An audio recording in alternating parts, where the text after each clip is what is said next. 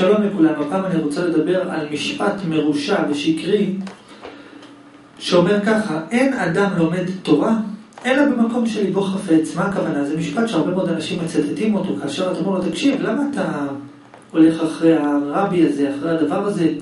אתה לא מבין שעובדים עליך? אז הוא אומר לך, תקשיב, אין אדם לומד תורה אלא במקום שליבו חפץ. מה הכוונה? אתה יודע איפה אתה צריך להתפתח רוחנית? איפה שאתה מרגיש. והמשפט הזה כמובן, מי אמר אותו? מי, מי היה אותו גאון גדול שאמר אותו? אמר אותו חז"ל. חז"ל אמרו את המשפט הזה.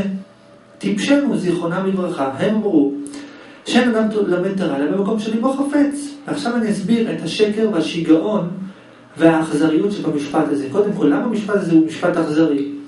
כי הוא בעצם גורם לבן אדם להישאר טיפש, להישאר בתוך הסבל שלו. למה האדם בכלל הולך ללמוד תורה? מה הכוונה ללמוד תורה? למה בכלל הוא רוצה ללמוד תורה? כדי להתפתח, כדי להתקדם, כדי שיהיה יותר טוב. אבל ברגע שהאדם הולך אחרי אלילי שקר ולומד מהם אה, שיגעונות, הוא בעצם נשאר בסבל שלו.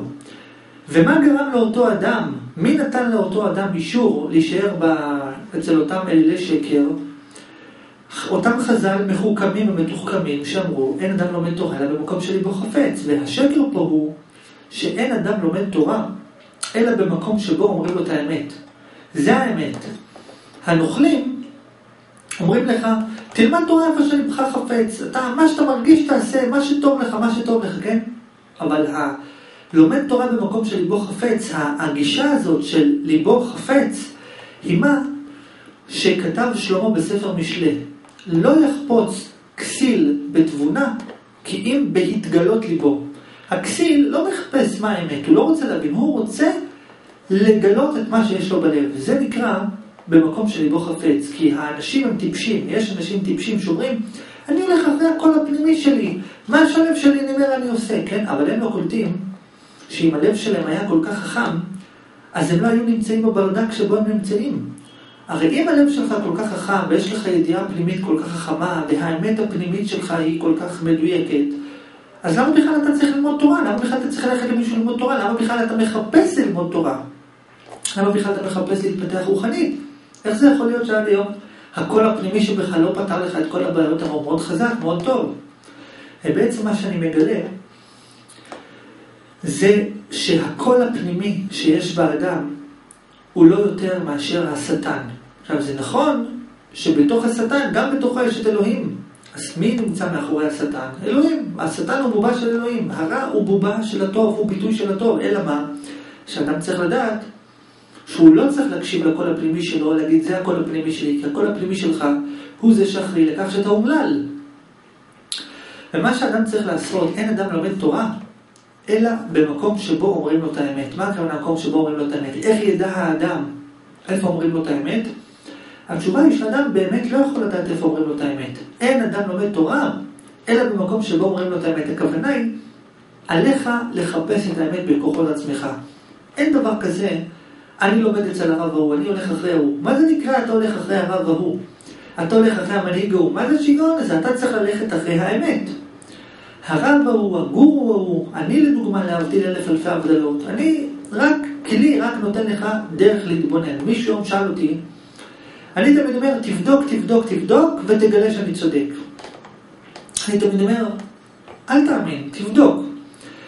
ואז שאל אותי אחד חוכמולוג, אמר לי, כן, אתה יודע, אני בדקתי, וגיליתי שאתה לא צודק. אז מה זה אומר? ששנינו טיפשים, ששנינו חכמים. אמרתי לו, תקשיב, גם אם תבדוק, גם אם תגלה שאני צודק, או גם אם תגלה שאני טועה, בשני המקרים אתה טועה. אם בן אדם יבדוק את מה שאני אומר, ויגלה שאני, שמה שאני אומר זה נכון, הוא טועה.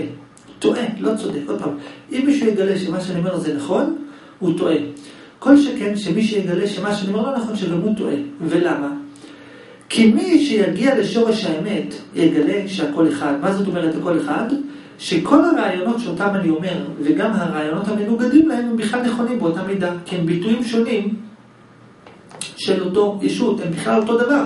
השכל של מה שאני אומר, ואם ניקח את מה שאני אומר ונהפוך את זה, זה אותו שכל בכלל, זה אותו דבר, רק האדם שהשכל שלו קטן, הוא חושב שמה שאני כאילו נאחז במה שאני אומר, ואז הוא מתחיל להתווכח איתי, אתה צודק, אתה לא צודק, אבל הוויכוח של האדם, זה בכלל עם עצמו, שאין לו שכל להבין שכל ההפכים הם אחד. ולכן, אם בן אדם חושב שאני לא צודק, זה אומר שהוא טיפש, וגם אם הוא חושב שאני צודק, זה גם אומר שהוא טיפש. למה? כי הוא צריך להגיע לשכל להבין שבכלל הכל אחד. וכל מי שחושב שאני טועה, שיגיד, הנה, אתה טועה בזה ובזה, ואני אראה לו שהוא עצמו טועה. וכל מי שחושב שאני צודק, שיגיד, אתה, אני חושב שאתה צודק בגלל, ואני אוכיח לו שהוא גם כן טועה. כי כל מה שאני אומר, אני עכשיו יכול להוכיח הפוך. הפוך על הפוך על הפוך על הכל. בשורה התחתונה, מה שאני בא לומר, אין אדם לומד תורה, אלא איפה שמלמדים אותו את האמת. מה זאת אומרת? שהאדם צריך ללמוד תורה מהאמת עצמה. תחפש את האמת. עכשיו, אתה אומר, איך אני אחפש את האמת? אני חי בשקר. לך אחרי נקודת האמת שלך, אבל עד הסוף במסירות נפש. פשוט, עכשיו, מה זה נקרא ללכת אחרי האמת במסירות נפש? הכוונה בהבנה, זה לא פעולה. ללכת אחרי האמת זה לא לעשות משהו, האמת זה לא משהו שעושים אותו, האמת הכוונה הבנה. תנסה להבין את המציאות בכל כוחך, במסירות נפש של ממש ברמת ההבנה, בנחישות שלך להבין את המציאות. וזה נקרא ללכת אחרי האמת. ואם האדם הולך אחרי האמת, בסופו של דבר, כפי שרבי נחמן אמר, הוא עצמו הופך להיות. יש רבי נחמן אמר, בתורת זוהר תעשה לתיבה. רבי נחמן אמר ככה, יש אבן טוב ויש חלון. מה זאת אומרת?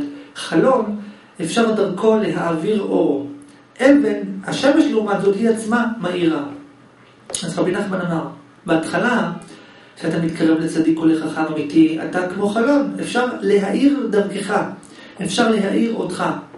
אבל אם האדם ילך עד האמת עד הסוף, רבי נחמן אמר, אז הוא עצמו הופך להיות האמת. אז הוא עצמו, הישות שלו, התודעה שלו, החוויה שלו, הופכת להיות האמת. ואז הוא עצמו מתחיל להעיר לאחרים, כי הוא עצמו הפך להיות האמת. ובסיכומו של דבר, המשפט, אין אדם לומד תורה אלא במקום שליבו חפץ, זה משפט של נוכלים, שהם אומרים, כן, יש הרבה אמת, ושכל אחד ילך אחרי האמת שלו, ותעשה מה שליבך חפץ, ותקשיב לקול הפנימי שלך, כי הם נוכלים. כי בגיהנום יש הרבה מאוד מחלקות. כל אחד שילך לאיפה שליבו חפץ, אבל הוא עדיין בגיהנום. והדבר היחיד שאחריו צריך ללכת האדם זה אחרי האמת. לא איפה שליבו חפץ, ולא איפה שליבו לא חפץ. פשוט תלך אחרי האמת. ושלכולם המשך יום של הבנת האמת באמת. תודה.